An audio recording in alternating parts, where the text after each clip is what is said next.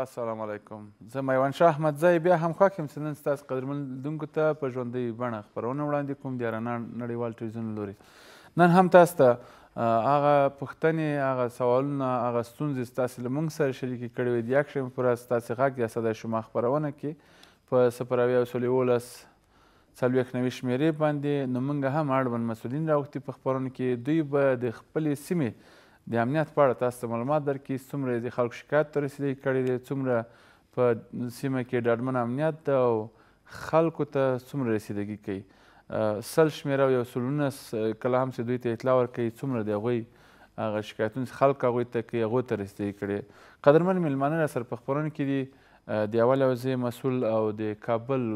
امني قومندانۍ د څلورم زون سرپرست راسره په خپرونه کې ده. دوی ته به ځانګړی سلام ورکوم خپل ځان به درته معرفي کړي سلام مولوي صاحب ښه راغلاست وخت مو په خیر لیدونکو ته هم که ځان معرفي کړي ورحمت الله وبرکاته زه مولوي صدیق الله منصور د اول اوزه مسئول ډیره مننه مهرباني مولوي صاحب شما معرفي کړئ خپل سلام به شما و بینندگان شما بنده مولوی عبدالخالق سعادتیار سرپرست زونی چهار سلامت باشن ډیره مننه قدرمنو ملمنو څمنګ سره په خبرونه کې ګډون په پیل کې به مولوي صاحب له تاسو نه پوښتنه وکړو د اول او زیب سیمه کې څومره ډاډمن امنیت د اول او زه ډیره مهمه او زه د هغه ډیره اټي الته دی د صرافي عمومي بازار یا سرای شهزاده هلته شتون لري چې باید ډاډمن امنیت ولري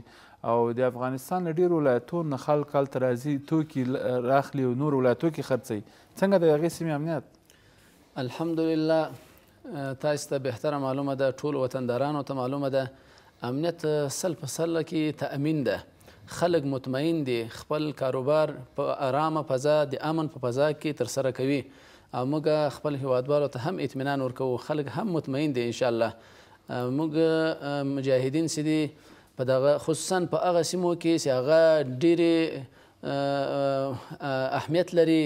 او تجارتي له نګاه نه او خصوصا د اسرائیل شهزاده دوی لپاره هم ځانګړي ترتیبونه جوړ کړي دي چې هم استخباراتي مجاهدین د جنایي مجاهدین د کشف مجاهدین او هم امنیتي ځان ته تقریبا 15 تر شلو کسانو پورې د دې د امنیت په خاطر باندې خاص کړي دي او د امنیت نیولای او الحمدلله سل په سده کې د امنیت تامین ده ډیره مننه مولوی صاحب شما بگوین سای مسئولیت شما که سرپرست زون چهارم هستین ولسوالی افت ولسوالی کودامان واوزات که ای طرف قرار دارد چقدر تامین امنیت است آیا شب و روز گزمه است اینجا مردم اطمینان خاطر دارن که اینجا امنیت است به شما بهتر معلوم است که نیروهای امارت اسلامی بسیار یک نیروهای مجاز متدین خصوصا در سطح ولایت کابل تحت اداره قماندانس محترم امنی کابل فعالیت دارند و به شما معلوم است قماندانی امنیه ف کابل بسیار یک شخصیت فعال و قماندانی امنیه را به چند بخشا تقسیم کردند که از جمله یکی زون چهار را در نظر میگیره و چند ولسوالی مربوط اینا هستند و به شمول چهار حوزه در تمام حوزای مربوطه مجاهدین مجاهدینی که در اوضاع هستند اونا تامین امنیت میکنند علاوه بر او قماندان صاحب امنیه دستور داده است بر قطعات قطعات قماندانی امنیه بیست و چهار ساعته در ساحه گشت گام میکنند ام از طرف روز ام از طرف شب در سر چک پاینا سر در کوچه ها پس کوچه ها یعنی هر ساعتی خواسته باشین نیروهای امارت اسلامی قماندان موظفین قماندانی امنیه به کمک اوضاع در سطح چهارراه در هر جا موجود میباشد چی در یک بجه شب باشد چی از طرف روز باشد هر وقت باشه اونجا اجزا در امنیت مردم کوشان می باشند سی. تشکر مولوی صاحب دی ولی عجیب سیمه که روزانه په زرګونو خلک هلته راځي توکي لکه مخکې چې مالې توکي رانیسي څنګه د دوی د دوی امنیت ټینګ د ځینې خلک خو به دوی نه ګواښي چې دوی نه په زور پیسې واخلي یا د وسلو په د مجاهد له نومه غلطه ګټه واخلي او د وسلې په زور نه پیسې واخلي داسې پېښې مو که لیدلې وي یا یې نیولي هم دي قانون منګول ته هم سپارلي لله الحمد د مجاهدینو په هلو ځلو باندې دا شیان تقریبا صفر ته رسیدلي دي مخکې دا پیښې ډیرې وې خو الحمدلله مجاهدینو په وخت سره رسیدګي کړې ده د خلکو مشکلات یې اورېدلي دي او د هغو د مشکلاتو د حل لپاره یې هلې ځلې کړې دي کوششونه یې کړي دي په دا نږدو وختو کې موږ داسې خاص مشکل یا شکایت له چا نه نه ده اورېدلی یعنی رسیدګی سوی دی خلکو ستونزو الحمدلله په وخت سره رسیدګی سوی ده تقریبا د موږ خلک فعلا له موږ سره ډیر همکار هم دی په دغه وجه باندې چې دوی هغه مشکل ته رسیدګی سوی ده که وایو په کلیه سره اکثره خلک له موږ سره په رابطه کې دي چې معمولي او مشکل یو خبره وي هم له موږ سره شریکوي ډیره مننه مولوی صاحب شما بگوین در سایه مسئولیت که شما از طرف شب و روز گزما میکنین اما تنها چیزی ما میگن که در چک پوینت ها باید یونیفرم تطبیق باشه آیا یونیفرم تطبیق شده لباس زمستانی بر مجاهدین توزیع شده که اینا هم شب و روز خدمت میکنن به مردم رسیدگی شده باشه الحمدلله اما مشکلات مجاهدین مرفوع شده ما بر فعلا انشالله به از لحاظ لباس از لحاظ یونیفرم هیچ مشکل نداریم چون که در رهبری ما بسیار یک شخصیت خوب قماندان امنیه کابل قرار دارن اونا بسیار توجهی زیاد بر مجاهدین دارن در هر بخش در بخش اوزاد در بخش گزمات مجاهدین مجهز کردن آن چیزی که در در دسترس قماندانی امنیه بوده اونا در اختیار مجاهدین قرار یعنی هیچ مجاهد در بدون لباس نیست بدون یونیفرم نیست از طرف شب دگز ما باید لباس در شبشن تا مردم درست بفهمند که اینا مجاهدین اوزاد و اطاعت قماندان سامنی هستند اطاعت عمرا واجب هستند بر ما میگن ما هر وقتی دستوراتشان به مجاهدین رساندیم و انشالله 100 درصد مجاهدین با لباس مجهز هستند ما هیچ مجاهدی را شما هم عملا در چک پاینا شب میین میبینین روزا میبینین که مجاهدین ما بدون یونیفرم نمی باشد در سطح کابل البته تشکر مولوی صاحب څومره مو په خپل حوزه کې یونیفورم تطبیق کړی تر څو هیوادوال په دې ډاډمن اوسي دغه پرسونال یا دغه مجاهدین د اول او زی دی او دوی د مونږ د امنیت لپاره چک پوینټ اچولی یا راځي د مونږ ته جلب راوړي یا راځي د مونږ دکانونه چک کوي یعنی مشخص د دوی یونیفورم هلته ټاکل سوی نو په دغه خاطر باندې خلک اطمینان سره کړي د تاسو په اوزه کې هم یونیفورم تطبیق شوی الحمدلله لکه څنګه چې مولوي صاحب ویل د موږ په رهبري کې قومندان صاحب امنیه حمزه صاحب دا یو ډیر جدي او الحمدلله ډیر با استعداد او خپل کار ته ډیر متوجه سړی ده نو شپه ورځ موږ تعقیبوي شپه او ورځ موږ او د خپل پرسونل او د موږ پرسونل او څومره چې د کابل په سطحه باندې د دې مربوط کسان دي دا تعقیبوي او تعقیبي خلک که د زون خلک دي دا هم راځي او که موږ یو موږ ته هم په کراتو ویل کیږي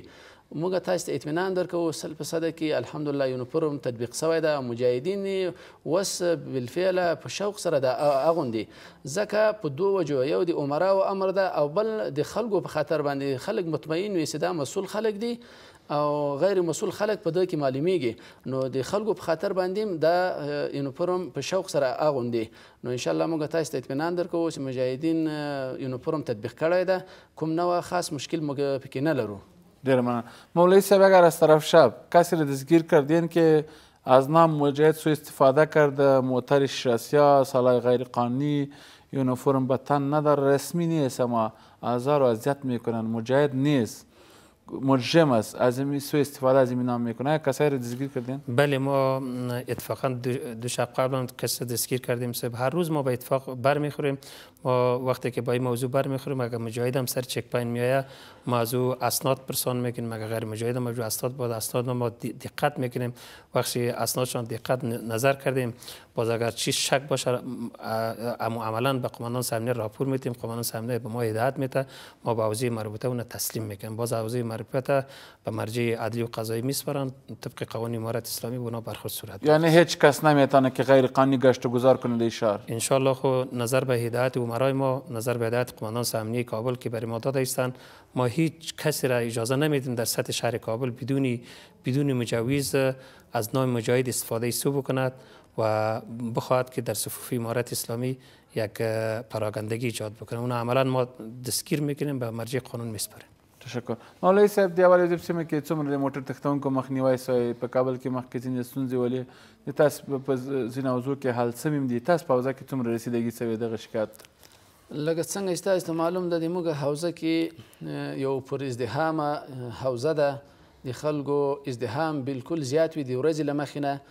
نو په ازدحامي نقطو کې امنیت تامینول دا اسانه کار نه ده خو لله الحمد د مجاهدینو په هلو ځلو سره د مجاهدینو په کوششو سره ستړیاو سره موږ تاسو ته ویلی شو په لنډو وختو کې موږ داسې یو پیښه نه لرو د موټر د غلا پیښه نه لرو پرون یوه پېښه سوې وه، له بله ورځ موټر یې له بلې حوزې نه تښتولی و، بیا د موږ په حوزې په ساحه کي جاده میوند کي موټر ګرفتار سو، متأسفانه سیاغل د ازدحام ډېر و، د خلګو په مابین کي یې فرار کړی و، مجاهدینو د خلګو په خاطر باندي ښار و ګڼه ګوڼه وله، نو نه سوی کولای چي پیر وکړي، نو په وجه باندې هغه خلاص شو خو بیا هم د هغه تشخیص شوی ده د هغه پیژندل شوی ده په کمرو راخیستی ده نو ان شاء الله تعالی په لند وخت کې به دستګیر شي نو دا تاسو ته ویل چې موږ ساحه کې الحمدلله د غلاو پیخي خصوصا مصالحانه سرقتونه یا د موټر غلاوي دا صفر ترکته شوی دي ډیره مننه مولوی صاحب صرف شب چک پاینټای در مسیرای که شما د ولسوالیا شما میرن میان د ولسوالیا هم گزمای پیاده و موتردار می باشند تا مردم ولسوالیا هم اطمینان خاطر داشته باشه ما قطعات مشترک چند چند قطعات که مدغم هستیم به می به می وظیفه در تمام ولسوالی هم شب گشت داریم این ولسوالی مربوطه و اوضاع مربوطه تو په وقفه وقفه در حالت رفتار هستیم ان شاء الله هیچ کدام مشکلی نیست در کوچه و پس کوچه همه جا مجاهدین هستن ان شاء الله سلامت باشین مولوی صاحب د اول او زیب سیمه کې څومره خلکو عرایضو ته رسیدګي کیږي آیا داسې څوک به تر اوسه پورې شتون ولري چې هغه تر تاسې دغه غږ نه رسېدلی څو ورځو کې څوک تر تاسې رسېدلی سي دروازې د خلکو په مخ خلاصې دي که بندې لله الحمد مجاهدین د دې خپل ولس ستړیاوې او تکلیفونه زحمات ورته معلوم دي ډیر نرم سلوک ډیر ښه سلوک د نبوي اخلاقو مطابق لدی سره چلند کیږي شپه او ورځ د موږ دروازې د ملت او د خلکو په مخ خلاصې دي خصوصاً هغه جنايې پېښې، جنايې عرائض چې وي، شپه ورځ د موږ مجاهدين ورېنو کريوالان ورته ناست وي او د دوی عرائضو ته رسيدګي کېږي. تر اوسه داسې يو شکايت موږ ته تر آمريت ته نه دی رارسېدلی چې کوم مديريت د موږ يا کوم آمريت د موږ د هغو په کار کې رسيدګي نه يي کړې په خپل وخت سره. نو شپه ورځ د موږ دروازې د وطندارانو په مخ خلاصې دي او ان شاءالله تعالی موږ په حيث د خادمانو د دو خلکو ورې وظيفه اجراء کوو. نو ان شاءالله موږ خلکو ته بیا هم اطمینان ورکوو چې شپه ورځ موږ تاسې په خدمت کې یو او زموږ دروازې د تاسې د مشکلاتو د حل لپاره خلاصې دي. ډېره مننه مولوي صاحب. د از طرف شب شما گزما دارین از طرف روز هم در شهر کابل در مربوط همو زونی که شما هستین گزما دارین مردم چقدر همکاری میکنند اگر یک شخص مشکوک ببینه یا سارق ببینه مردم هم کاری چقدر میکنند؟ ما خو از مردم خود بسیار خرسند هستیم باز هم سپاسگزاری میکنیم توسط برنامه شما از مردم مردم صد فیصد با ما همکار هستند مجدد یک یک یک جزی ترین حادثه را میبینند مردم به ما اطلاع میتن اذا ما الان در موز ساحه میرسیم و مجیم دستگیر شماره را شما دارین در به ساعت شهر از طرف قماندانی امنیه شماره را دارین که به اونا مردم زنگ بدن و شما در جریان بله شماره سر قماندانی امنیه 24 ساعت در خدمت در فعال هستند سه بدون مصرف میتونن اونا تماس بگیرن در هر جای در هر حوزه مربوطه که تماس بگیرن یا با مجاهدین گزمه تماس بگیرن ما آنان همونجا میرسیم برش مولوی صاحب له خلکو سره لیدنې کتنې کوي د مارکیټو له مالکینو سره د شپې له خوا دلته داسې یو څوک ځای په ځای نه وي چې هغه ګواښ وي امنیت ته یا ستونزې پېښ کړي چوکیداران یا مالکین نه داسې یو سند یا ضمانت اخیستل سوی دلته به هغه اشخاص چې مسؤلیت نه لري د شپې لخوا ځای نه باید ورنه کړل سي که هوټل وي او که مارکیټونه وي بالکل د موږ په ساحه کې تقریبا څو اتحادیې دي له هرې اتحادیې سره موږ ځان ځان ته مجالس کړي دي له وکیلانو سره مجالس کړي دي مجالس ورسره لرو تقریبا په میاس کې مجالس ورسره لرو دوی موږ ته ډاډ راکړی، موږ له دوی نه مطمئن یو، تر اوسه د دوی د ډاډ او د اطمینان په خاطر هم داسې یوه پېښې سره موږ نه یو مخامخ شوي او د موږ د کنترول بخش چې ورته وایې دا یو مهم بخش ده په هوازاتو کې د دوی دا د ساحې مکمل کنترول د دوی په اختیار کې وي دا معنی کشفیات هم دوی کوي او دوی جمعواري د معلوماتو هم کوي د ټولو خلکو د ټولو دفاترو د ټولو اتاقونو چې په کرایه ورکول کېږي نو موږ الحمدالله مطمئن یو خلک هم مطمئن دي داسې پيښې سره تر اوسه انشاءالله نه يو مخامخ شوي. ډېره مننه مولوي صاحب دید وادید به مردم دارین که اونا هم رضایت خود نشان بدن و همکاری از اونا بخواین که تا در شهر کابل امنیت باشه ما خو امی امنیت را در کابل شما میبینین مدعون ملت خود هستیم چون که ملت با ما همکار هستند ما امنیت تانستیم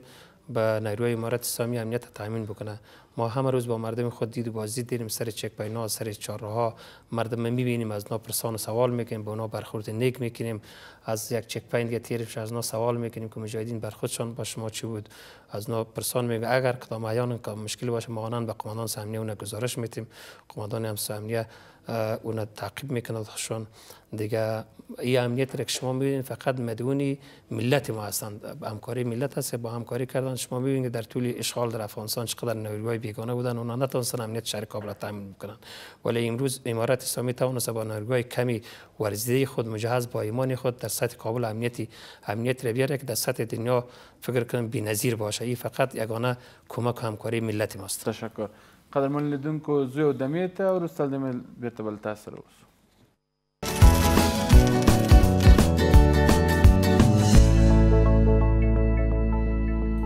بیا هم ښه راغلاست لیدونکو مولوي صاحب د اول او زیب سیمه کې د خلکو هلته زیړه ګڼه ګونه ده داسې کسان مو نیولي دي خلکو نه په فریب داسې اوازې مې خلکو نه په فریب مال وړه غلا کوی یا له دوکاندار نه په چلو فریب باندې مال وړه یا کې صبوري کوله په دې اړه هم خلک نیولي دي وو تقریبا درې ورځې مخته هم درې زنانه وې سیاسرې وې چې کیسه بوري به یې کوله د موږ ساحه کې ګڼو ګڼه زیاته ده ازدحام ډیر ده نو په دغه وجه باندې دا خلکو ته موقع برابرېږي بیا د موږ مجاهدین کشپي ملګري هم ډیر متوجه وي او خلک هم ډیر همکاره دي نو تقریبا درې ورځې مخته درې کسان زنانه ګیر سو لغنه مخته کوچني الکان هم له دونه سي غلطه استفاده کېدله دا پلاستیکان یې په لاس ورکړي چې دا خرڅوي په نام دیدو باندې خو کله چې موقع ورته برابر شي د خلکو جیبانو کې د هغه هغه یو بانډ غونډې مشران لري هغه مشران هم ګیر شوي دي او دغه کیسه بران هم د ټیلفونانو کیسه بران د پیسو کیسه بران تقریبا زیاتره خلک الحمدالله ګیر شوي دي. ګنې کشفي کارکوونکي هم په سیمه کې دي؟ په سیمه کې څلرویشت ساعته موظف یې خپل ګزمې په ترتیب سره وي نو بدلیږي او را بدلیږي خو هغه خپله ساحه خالي نه پرېږدي نو دوی تقریبا په ډېرو کوششو سره دا خلک ګیر کړي دي او موږ دوسیې تکمیل شوې دي ریاست تحقیقات جنایي ته معرفي شوي دي ډېره مننه از طرف شب مولوی صاحب شما گزمایان دارین با مردم هم کاری کردین بعضی جای مثلا عریق میشه یا مارکت یا کدام ساحه یا کدام خانه رسیدگی به وقت شده برای مردم بله در اصول امارت اسلامی است که مجاهدین در هر سایه که باشه بعد با مردم خود همکاری بکنه خصوصا در سایه مسئولیت ما ما شب میشه به اتفاقات عجیبی برمیخوریم مثلا مسائل حریق می باشه چند روز پیش شما جلو شاهد بودیم که یک مسائل حریق صورت گرفته بود ما ساعت یک به شوج حاضر شدیم و مسئله را دفع کردیم دیگه هر مشکل که بر مردم پیش میشن دیگه آنان ما با وقت رسیدگی با وقت رسید همون ساعت همون دقیقه همون دقیقه به شما گفته میتون به اطمینان که همون ساعت که زنگ میزنن ما به ساعت دو ثانیه و یا دو دقیقه ما میرسیم اونجا که اون که رو همکاری میکنیم مولای صاحب دی اول اوزی په سیمه کې ډیره غنګونه شاروالۍ یا ناحیه مربوطه څومره همکار د ترڅو هغه سیمو کې سکراچي ضرورت نه دی او خلک په خپل سر درې دغه مخنیوي وکي او دغه سیمه د خلکو په خاطر چې دلته په زرګونو خلک راځي روزانه خپل توکي لاسته راوړي د دوه لار هم بنده نه وي خلکو تم ستونزه نه وي په دو باره کې موږ ډیر کوششونه کړي دي همکاریانې مې کړې دي ناحیه سره منتها یو خبره کولای سو زموږ ملت خصوصا د امارت د مشران د ټولو دا پالیسی ده له خلکو سره ډیر تساهل کوي خوصوصا دا خلکو سره دو لپاره چې دا غریب خلک دي او اوس خو الحمدالله وطن کې امن ده پخوا بعضې خلک د ډیرو ښارو خلک د ډیرو ولایتو د اطراف خلک دلته نه سوای راتلای د امنیت په وجه باندې دوی به ګواښیدلو دوی ته به مشکلات پیښیدلو په یوه پلمه او په بله پلمه باندې لله الحمد د امنیت له د امارت له راتګ سره دا تشویشونه مکمل ختم سوي دي د هر قشر خلک د هر قوم خلک د هر سیمې خلک په ازاده توګه راتلای سي او خپل هغه ضروريات دلته پوره کولای سي، نو په دغه وجه باندي بيروبار اوس زيات سوی ده، زمی ده، په اطراف کي کارونه نسته، اکثره خلک دلته راغلي دي د ځان د کور د پاره يو حلال نفقه برابرولو په خاطر باندي يو مصروفيت يې ځان ته پيدا کړی، خو موږ کوشش ډير کړی ده، کوشش هم ورسره روان ده، له ناحيې سره بيا هم په جريان کي يو، نو انشاالله تعالی د ښار د نظم په خاطر باندي انشاالله پلانونه روان دي، په آینده وخت کې به ان شاء الله تعالی موږ تاسو د یو ښه نظم د کابل کې د یو ښه نظم لیدونکي یو ان شاء الله په نږدې وختو کې ډیره مننه چک پوینټای که مربوط شما میشه در شهر کابل به سطح شهر کابل دستاوردهای دارن سالهای غیر قانونی و مواد مخدر هم دستگیر کرده بله ما در هر ساعه دستاوردهای داریم دیروز پیشتر ما مواد مخدر هم گرفتار کردیم چون که بر برنامه امارت اسلامی کشت و زر و فروش همه از طرف امنون ممنوع قرار شده دادشت ما را گرفتیم به حوزه مربوطه تسلیم دادیم و همچنان افراد مسلح غیر قانون را هم ما در سر چک پینا گرفتیم سیب و اون حوزه مربوطه مطابق هدایت قماندان سرمنه تسلیم میتیم باز برسی خود است اقتصادي بازار مو په سیمه کې د سرای شهزاده ده دې کې ځینې بانک د بانکو نمایندګي نیم دي نمایندګیان نیم دي د دې امنیت څومره ټینګ نیول سوی آیا له دوی سره لیدنې کتنې کوي څه دوی خپلې پیسې تاسې له سیمې نه انتقالوي بلې سیمې ته همکاري ورسره کیږي ای دوی غږ او شکایت ته رسیدګي کیږي. تقریبا څلور ویشت ګنټې موږ دوی په رابطه کې یو رښتیا سرایش سره د یو مهم مرکز دی تجارت ده په سطح د افغانستان دوه ته د قومندان صاحب د امنیه په هدایت باندې موږ خاصه جدي توجه ورته کړې ده، خاص خلک هم ورته ګمارلي دي چې هغه وخت په وخت له دغه خلکو سره ویني او موږ هم په وخت د ضرورت کې له دغه خلکو سره وینو، مجالس کوو او دوی د مشکلاتو د حل لپاره کار کوو، کوشش کوو چې هغه مشکلات یې په وخت سره او په ښه طریقه سره حل شي نو ان شاء الله تعالی دا خلک فعلا موږ ته ډاډ راکړی ډاډمن دي موږ هم ځینې ډاډمن یو ان شاء الله داسې خاص کومه پیښه هم نه ده شوې ان شاء الله تعالی موږ ملګري او خپل ډیر ورته صرافانو ته رسیدګي شوې په خپل وخت په خپل وخت رسیدګي شوې ده دا اوس هم نن موږ مجلس لدی سره لرو کېدای شي له دوی نه ولاړ شو او له دوی سره یو امنیتي غونډه لرو ځکه جلال آباد کې تاسو خبر شوي یاست یو پیښه و د هغه په خاطر باندې موږ غواړو چې یو ترتیب او پلان باندې خبره وکړو، خدای نه کرده څه پېښه ونه شي. ډېره مننه الحاج ملا ولي جان حمزه قوماندان صاحب امنیه کابل از طرف شب و روز اینا هم از پرسنل خود چک و کنترول دارن؟ و شما در جریان هستین که در سطح افغانستان رهبرای امارت اسلامی همه بی راز هستند خصوصا قوماندان صاحب امنیه کابل شب و روز بدون وقفه 24 ساعت در خدمت مجاهدین هستم در هر سر چک پوینت خوش ناظر هستم صاحب معز شما در, در جریان باشین در زیرای تلفن یا یا یا مخابره که معز صدا یک مجاهد از یک صاحب بالا شد قانون امنیه شخصا هم حاضر می باشن صاحب ما از اونا بسیار خرسند هستیم تحت قیادت اونا خدمت میکنیم ان بسیار یک رهبری درستی دارن و امنیت کابل هم به برکت توجه ناستن صاحب تشکر مولوی صاحب برحال مولا ولی جان حمزه د کابل امنیه قومندان صاحب له اوزو نه هم چې کنټرول کوي هغه هدایتونه چې د قانون په چوکاټ کې تاسو ته کوي رسیدګي ورته کوي پلي کوي لله الحمد لکه څنګه چې مولوی صاحب وویل قومندان صاحب د امنیه د کابل یو لغه لوړو شخصیتو د امارت څخه ده او ډیر یو جدي او الحمدلله کار ته ډیر متوجه سړی ده ډیر یو مشفق مجاهدینو سره تقریبا زیات شفقت لري شفقت یې کړی ده په وخت سره راځي د موږ حال یې اخیستی ده او موږ ته چې کوم هدایت کړي دي الحمدلله مجاهدین یې ډیر ډیر ښه په شوق سره او د خپل یو مشفق امیر په صفت باندې دغو اطاعت یې کړی ده او دغو کوم هدایت چې دي الحمدلله ټول پلي سوي دي څه اسانې لارې مو خلکو ته پیدا کړې دي چې مثلا تر تاسې غږ ورسېږي، داسې یو شمېرې شته دي چې د خلکو غږ لکه څنګه چې قوماندان صاحب مخکې ویلې چې سل شمېره ده، دا شمېره کوای شي تاسو خلک اړیکه ونیسي له دې لارې خبر شئ. پرون یوه وړه موضوع ولادلې په منډیی کې. نو له یو سلو نو نه شمېرې نه بیا موږ سره رابطه وسوله چې دغه خلک دا شکایت لري، بیا موږ هغه خلکو سره ولیدل نو د هغو هغه شکایت مو واورېدل او د هغو مشکل هم ور حل کړو، نو دا مو یو نمونه درته وویل چې دا خلک الحمدالله ټول خبر دي چې یو سلو نو نه شمېره او سل شمېره د قومندان د امنیه قومندانۍ دا څلورویشت ساعته د خلکو په خدمت کې دي، نو خلک رسیدګي کولای شي خپل مشکل له دوی سره شریک کړي، او مسؤلین خبر کړي چې هغه مشکل یې په ښه طریقه سره حل شي او موږ خپله د حوزې په سطح باندې هم دوه شمېرې تقریبا د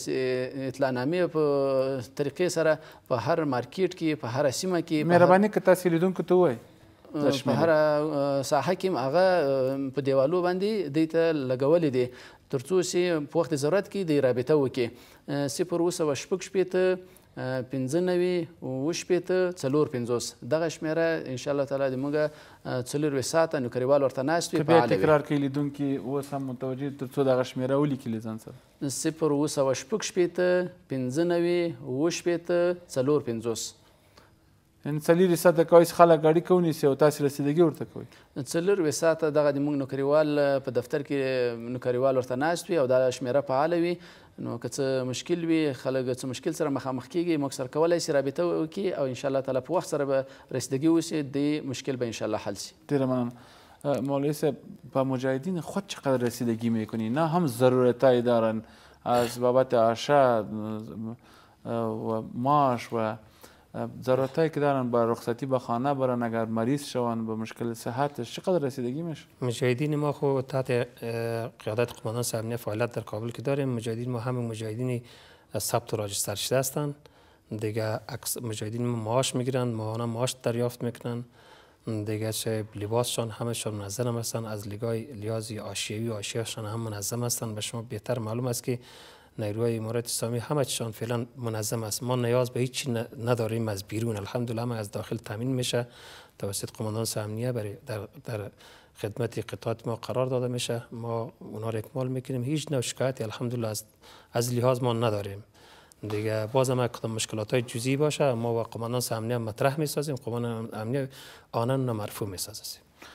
مولوي صاحب د اوزي په سیمه کې اختطافګر او دغه ستونزې یا مسلحانه سرقتونه د کورو د دوه مخنیوي سره که شتون نه لري لله الحمد دا ډېره د خوشحالي خبره ده موږ چې راغلي یو د موږ په ساحه کې د اختطاف قضیه نه لرو تقریبا دا بسته کال کې تر کال نه زیات وخت د اختطاف قضیه نه لرو او مسلحانه سرقتونه په اوایلو کې ولو نو لله الحمد په دغه اواخرو کې وس نه لرو تقریبا د کابل په سطح باندې موږ داسې څه نه دي اورېدلي مسلحانه سرقتونه لله الحمد ختم شوي دي دا د خلکو د همکاري او د مجاهدینو د هلې ځلو کوششو په برکت سره. وکیلان د ګذار سره لیدنې کتنې کوي، دوی همکاري کوي، نمایندګان د کوڅو که په سیمه کې دغه یو کور په کرا راځي او کور نیسي او څوک یا یو کور ګراو کوي په دې اړه تاسو ته اطلاع درکوي. هو بلکل موږ په هفته کې که کله ضرورت وي بیا په لنډو شپو کې مجلس سره کوو وکیلانو سره، ملا امامانو سره، نمایندګانو د کوڅو سره او په دو باندې خلک اوس ټول خبر دي رهنماو رهنماو والا ته موږ هدایت کړي معلومات هم ورکړي دي او ټول وطن دا په دوه باندې خبر دی چې یو کور بی اجازې دی وکیل او بی خبرتیا دی هغه مربوطه حوزې او بی نماینده دی هغه کوڅې څوک نسی کولای چاته په کرایه ورکړي نو موږ سره دا خلک همکار دي هر څوک چې نوی موږ ساحې ته راځي او په کراتو ډیر خلګ راځی نو په کرایه باندی کوم جای نیسی هم په رهنما کی رهنما وال پی خبر یی هم هغه وکیل دی ګذر نمایندی دی کوڅی او هم حوزه په جریان کی اچوی ضمانت ترینه اخستل کیږی ضمانت ټینګ ضمانت جنی اخستل کیږی. یعنی په دی اړه باندی تر اوسه پوری کومه ستونزه نده پیښه سوی. کومه ستونزه الحمدالله نده پیښه سوی. ډیره مننه تشکر مولوی صاحب که در برنامه به ما حضور پیدا کردین پای می تانه بگویم درست. تشکر از شما که تشکر از هموطنان از بینندای ما که ما را میبینن ما پیام ما بر ملت ما ایسته که این نظام اسلامی که بعد از سالها در رنج و درد و زحمت توسط مجاهدین امارت اسلامی در افغانستان پیاده شده در همکاری در پاسداری نظام با ما همکار باشند و هیچ دشمن داخلی و خارجی و هیچ مجرم داخلی و خارجی نگذارن که در وطن ما اخلال ایجاد بکنن امارت اسلامی یک امارت امارت با وفا امارت قدردانی هست که میخواه به تمام ملت افغانستان خدمت اکسان صورت بگیره و نیروهای مشترک امارت اسلامی نیروهای مجهز امارت اسلامی متشکل از تمام اقوام و از تمام افغان ها می باشه و توتی های دشمنان را در نظر نبگیرند آنچه که دشمنان تبلیغ میکنند علیه امارت اسلامی ما از ملت خود خواهش میکنیم تبلیغات مردم گوش نبکنند آنچه که احکام الهی را امارت اسلامی پیاده کرده از او بررسی از او پیروی بکنند و خواهش ما ایسته که ملت ما در راستای تامین امنیت در آوردن عدالت اسلامی در آوردن قانون اسلامی با ملت خود با امارت اسلامی خود همکار بوده باشد تشکر بفرمایید مهربان مولوی صاحب تاسو په خپل پیغام وایي لکه څنګه چې مولوي صاحب مهرباني وکړه موږ وطندارانو نه دغه غوښتنه ده چې دا یو داسې یو سپېڅلی نظام ده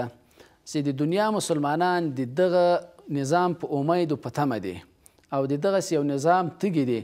نو لله الحمد دا د شکر ځای ده ټولو وطندارانو ټولو مسلمانانو ته چې الله جل جلاله وروسته له ډېرو سختو سختیو قربانیو زحماتو د مجاهدینو د مسلمانانو الله تعالی داسې یو ستر نعمت موږ ته را په برخه کړو، نو له ټولو موږ دا غوښتنه ده چې دغه په برپا برپا کولو کې او د دغه په ساتنه کې د موږ تاسې او د ټولو وطندارانو دا یو ستر او غټ مسولیت ده، باید ښه په جرئت سره، ښه په مېړانې سره د دغه نظام ملاتړ وکړي او مخربینو ته، فسادګرو ته په یو نامه اوسي په بل نامه دي، ان شاء الله دا هدف ته نه شي رسېدای، دا به ان شاء الله تعالی د مجاهدینو په هلو ځلو، د خلکو په همکاري سره سرکوبه کیږي ان شاءالله له بینه به ځي نو په دوی کې دی خله جرأت نه کار اخلي او له موږ سره د همکار اوسي لکه څنګه چې همکاري کړې ده په دغه تیر جهاد کې نو اوس هم باید موږ خپل مسولیت درک کو او خپل مسولیت ته باید ښه متوجه سو ان شاء الله تعالی دښمنان نسی کولای چې موږ سره یو لاس یو چې خپل شوم هدف ته ورسیږي ډیره مننه قدرمن میلمنو د لا بریا په هیله مو له تاسو هم مننه قدرمن لیدونکو له تاسو نه هم مننه چې پای تر شبه ما سره ملتیا وکړه